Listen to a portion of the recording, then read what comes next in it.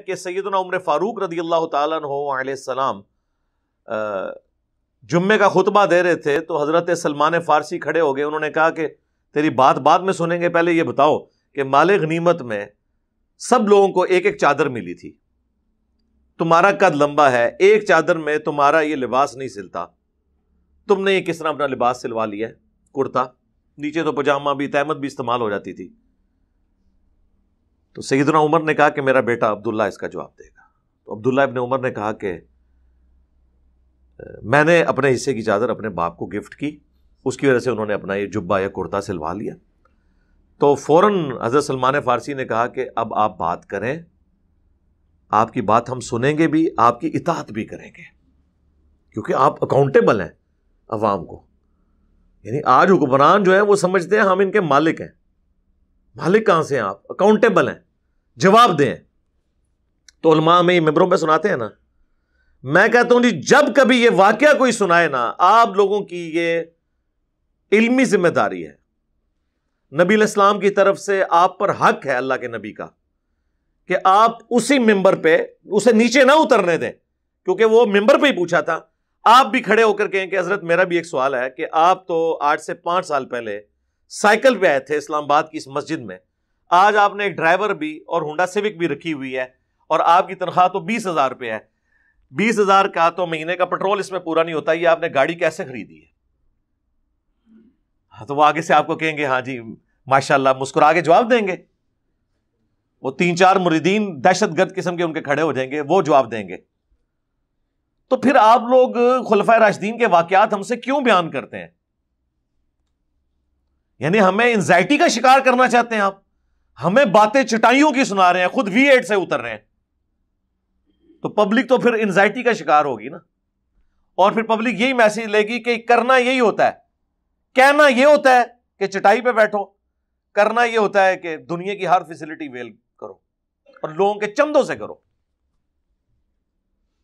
यही मैसेज आएगा ना। और एक हमारा पीर है जिसकी कब्र मदीने में सल्लल्लाहु अलैहि वसल्लम। बुखारी और मुस्लिम दोनों में हदीस है, अल्लाह के महबूब सल्लल्लाहु अलैहि वसल्लम, रमज़ान के एतकाफ़ में, रात के घुप अंधेरे में, जबकि गलियों में स्ट्रीट लाइट्स भी नहीं होती थीं, एक औरत के साथ मस्जिद के दरवाजे पर काफ़ी देर तक गुफ्तगु करते रहे, उसके बाद उस औरत के साथ मस्जिद से निकले, थोड़ी दूर गए, औरत को किसी मुकाम पे छोड़ा, फिर वापस आए, रास्ते में कुछ असहाब खड़े थे। नबी सल्लल्लाहु अलैहि वसल्लम ने उनके पूछे बगैर खुद क्लैरिफाई किया और कहा कि ये मेरी बीवी सफ़िया थी जो मुझे इतकाफ़ में मिलने आई थी, रात का वक्त था, मैं उसे घर छोड़ने के लिए गया था। तो उन्होंने कहा, अल्लाह के नबी, आपके बारे में हम तो गुमान भी नहीं कर सकते कि आप किसी नामहरम औरत के साथ इस तरह रात के वक्त बातें करेंगे। तो नबी इस्लाम ने फरमाया कि बेशक शैतान इंसान के जिसम में खून की तरह दौड़ता है, वो सजा दिला सकता था। और अल्लाह के नबी के बारे में ऐसी बात आती तो ईमान खतरे में पड़ गया। लेकिन नबी इस्लाम ने उस सिचुएशन को खुद समझते हुए खुद क्लैरिफाई कर दिया। बजाय इसके के साहब कराम आपसे पूछते। आज आप लोगों, होना तो चाहिए ये मेंबरों पे आके बताया करें कि हमारा ये स्टेटस क्यों हुआ है? हमारे पास ये सासे कहाँ से आए बताएँ। इनको ये डर लगा हुआ है कि जनाब हमने आके बात की ना, कि जनाबे वाला ये है वो जराए। तो वो जराए वो होंगे ही नहीं।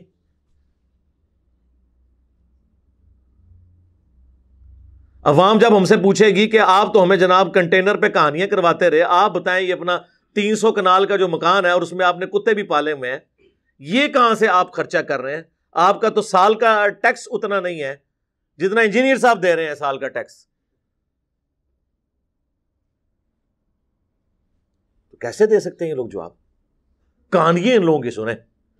तो उलमा, हमारे उलमा का भी यही हाल है, हमारे पॉलिटिशियंस का भी यही हाल है, हमारे रियासती इदारों के बड़ों का भी यही हाल है। पिछले दिनों कितना बड़ा स्कैंडल खुला है, आपको पता है? कितनी फ्रेंचाइज जनाब अमेरिका के अंदर खुल गई हैं। और तनख्वाह कितनी है तुम लोगों की यार? उसमें यह सब कुछ बनता है,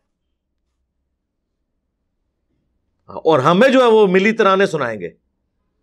कि जी मुल्क के लिए जान कुर्बान है। खुद जो रिटायर होता है ना, चाहे कोई जज होता है, कोई फौजी जर्नैल होता है, कोई पॉलिटिशियन फारग होता है, सीधा जाके बाहर लैंड करते हैं।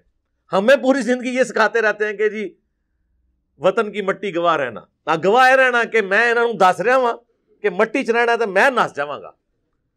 फिर ताबूत में गली सड़ी लाश आएगी और इनके जनाजे पढ़ने के लिए हम बैठे में कोई इनके जनाजे पढ़ने की ज़रूरत नहीं है। ये इस काबिल नहीं कि इन लोगों के जनाजे पड़े जाए। भागे हुए यहाँ से। अपनी दुनियावी मनफेत की खातिर जब इनको हालात फेवरेबल लगते हैं, मुल्क में वापस आ जाते हैं, जब इनके हालात इनके लिए खराब होते हैं तो बाहर चले जाते हैं। ये मैं किसी एक को सिंगल आउट नहीं कर रहा, सबका यही हाल है। कुछ का आप देख चुके हैं, कुछ का आप मुस्तकबिल में देख लेंगे। सारे, यानी इस हमाम के अंदर सारे नंगे हैं।